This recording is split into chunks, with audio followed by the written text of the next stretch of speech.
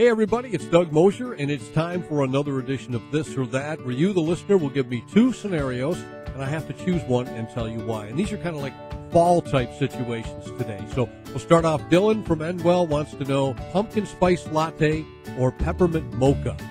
Eh, on both of those, kind of, but if I had my choice, I would pick the peppermint mocha because drinking anything pumpkin is, I want to drink it. I want to eat it with some whipped cream. Joy from Vestal, paper clips or stapler. I would prefer the paper clips because if you staple something, then you, if you want to make a copy of it, you have to take the staple out. You got those bumps in there. Plus, if you want to shred it, you forget the staples on there.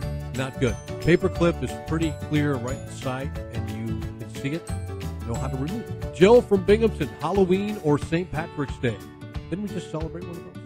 We did. You know, both of those holidays you dress up. One you dress up in costume, the other one you dress up in costumes with green and shamrocks and everything. I like Halloween. I like to dress up as characters, have parties, and have fun. And no offense to the Irish, but I'll pick Halloween. Jim from Conklin, raking leaves or using a leaf blower. Are you kidding me? Anytime I get out of manual labor, leaf blower, definitely. And finally, sunflower seeds or pumpkin seeds. Well, my wife just made a big bunch of pumpkin seeds because she knows how much I like them. And people that eat the sunflower seeds, they get them all over the place, spit them out of their mouth, a little time. That I just don't.